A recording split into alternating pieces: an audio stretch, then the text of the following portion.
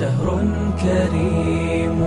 قد أطل شهر الصيام والعمل. أبشر إذا ما الشهر حل.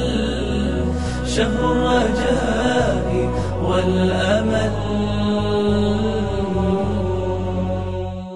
بسم اللہ الرحمن الرحیم ہماری شریعت میں رمضان المبارک کا مہینہ ختم ہونے کے بعد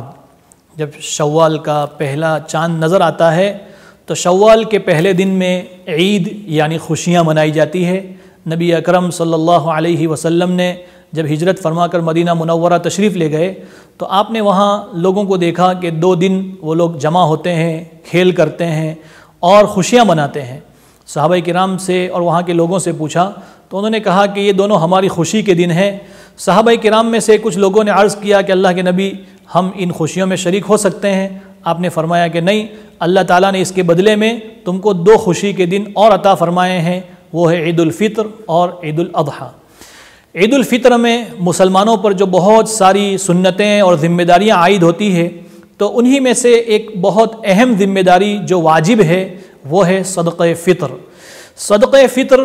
اس کے، اس کا مطلب یہ ہوتا ہے کہ ہم مسلمان آج تک روزہ رکھ رہے تھے، اب آج سے چونکہ ہمیں افطار کرنا ہے اور روزہ چھوڑنا ہے، کھانا اور پینا ہے، تو افطار کی وجہ سے ہم اللہ رب العزت کے حضور میں اپنا کچھ مالی نذرانہ پیش کریں اور اپنے مال کی قربانی پیش کریں تاکہ اس کے ذریعے سے غریبوں کی مدد ہو، غریبوں کا تعاون ہو، اور جن بیچاروں کے پاس عید کے لیے اچھا کھانا، اچھے کپڑے کا بندوبست نہیں ہے، ایسے لوگ بھی عید کی خوشیوں میں شریک ہو سکے۔ یہ صدقہ فطر کا پہلا مقصد ہے۔ اور دوسرا مقصد یہ ہے کہ جب ہمارے مال کے ذریعے، اللہ کے راستے میں خرچ کرنے کے ذریعے کسی غریب کے ہونٹوں پر مسکراہٹ آئے گی، اس کے غریب کے بچے بھی خوشیوں میں شریک ہوں گے، تو اس کی برکت سے جو رمضان المبارک میں روزوں میں، تراویح میں، عبادتوں میں ہم مسلمانوں سے جو کمی یا کوتاہی رہ گئی ہے، اللہ کی ذات سے قوی امید ہے کہ اس صدقے کی وجہ سے اللہ تعالی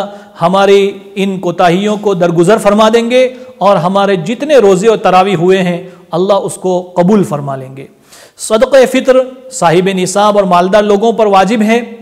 اپنی طرف سے بھی نکالنا ہے۔ اپنے اولاد کی طرف سے بھی نکالنا ہے اپنے خدمت کے غلاموں کی طرف سے بھی نکالنا ہے۔ اب اہم مسئلہ یہ ہے کہ کب نکالنا ہے۔ تو ویسے علماء نے اس کا وقت بیان کیا ہے کہ عید کے دن، عید کی نماز کو جانے سے پہلے صدقہ فطر ادا کر دینا واجب ہے۔ لیکن اگر کوئی آدمی عید کا دن آنے سے پہلے اگر اپنے مال کا صدقہ فطر ادا کر دیتا ہے تو یہ بھی بہتر ہے۔ کیونکہ اس کی وجہ سے جو غریب آدمی ہے اور امت کا جو غریب طبقہ ہے، جس کے پاس عید کی خوشیوں میں شریک ہونے کے لیے اسباب نہیں ہے وہ عید کا دن آنے سے پہلے ہی اپنے لیے، اپنے آل و عیال کے لیے کھانے اور پہننے کی چیزیں خرید کر خوشیوں میں شریک ہو پائیں گے۔ صدقہ فطر میں کیا چیز لازم ہے؟ تو نبی کریم صلی اللہ علیہ وسلم نے تین چیزیں بیان فرمائی ہے آدھا سا گیہوں بیان فرمایا ہے، یا ایک سا چھہارے بیان فرمائے ہیں، یا ایک سا کشمش جس کو منقع کہا جاتا ہے، وہ بیان فرمایا ہے۔ آدھے سا کی مقدار موجودہ زمانے میں ڈیڑھ کلو سے کچھ زیادہ ہوتی ہے۔ اس اعتبار سے ایک سا کی مقدار موجودہ زمانے میں تین کلو سے کچھ زیادہ ہوگی۔ عام طور پر یہ دیکھا جاتا ہے کہ تمام ہی حضرات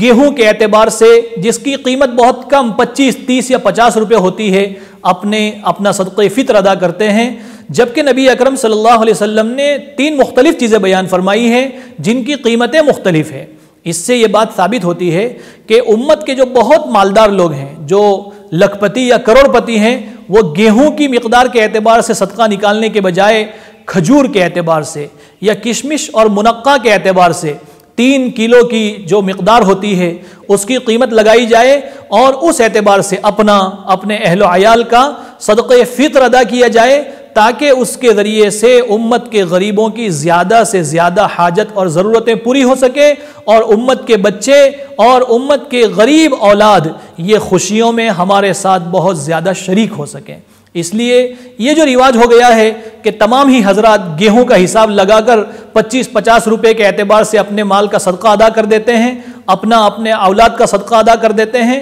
بہرحال اس سے واجب تو ادا ہو ہی جاتا ہے۔ مگر جو مقصد ہے اور اس صدقہ فطر کو لازم کرنے کا جو فائدہ ہے، وہ مکمل طور پر اسی وقت ہمیں مل سکتا ہے جبکہ ہم اپنی اپنی حیثیتوں کے اعتبار سے اپنے مال میں سے صدقہ فطر ادا کریں۔ اللہ تعالیٰ امت کے مالداروں کو زیادہ سے زیادہ مقدار میں صدقہ فطر ادا کر کے امت کے غریب بچوں کو اپنی خوشیوں میں شریک کرنے کی توفیق عطا فرمائے۔ وہ آخر دعوانا ان الحمد للہ رب العالمین۔